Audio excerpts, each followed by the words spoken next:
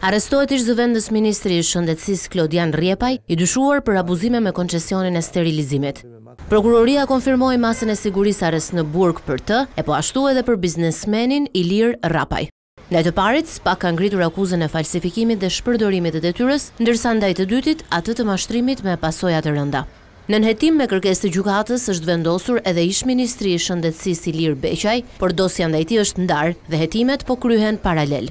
Në total janë lëshuar tetë urdhër arreste për zyrtarë të Ministrisë së Shëndetësisë. Për drejtorin ekonomik Saimir Kadiu dhe drejtoreshën juridike Marsela Serjani, SPAK ka kërkuar arrest shtëpie.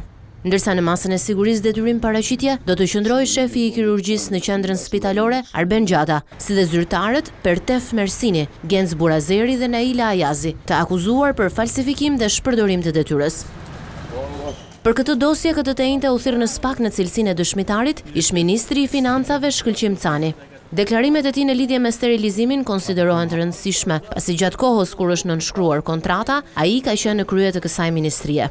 Ish-ministri pranoi se me biznesmenin e prangosur Ilir Rrapaj nuk ka patur njohje. Po ç'ne me lazëm të më njifte mua ai apo donte të më jepte edhe ca pare dhe mua ai, a si e mendoni ju, ç'donte ai me mua? Ministri i Financës ka, çfarë lidhje me këtë, nga ta gjej unë lidhjen.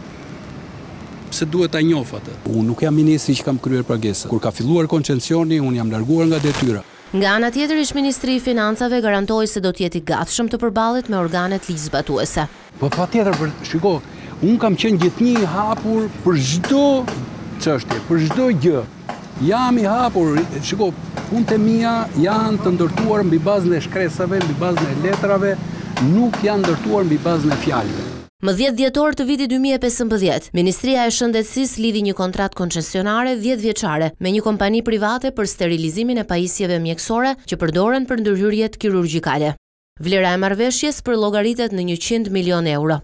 Po për të njëjtën dosje, prokurori Edvin Kondili ka marrë edhe dëshminë e ish-ministrit të Shëndetësisë Ilir Beqja, i cili për nëntë orë rresht ka dhënë shpjegime për rolin e tij në këtë çështje.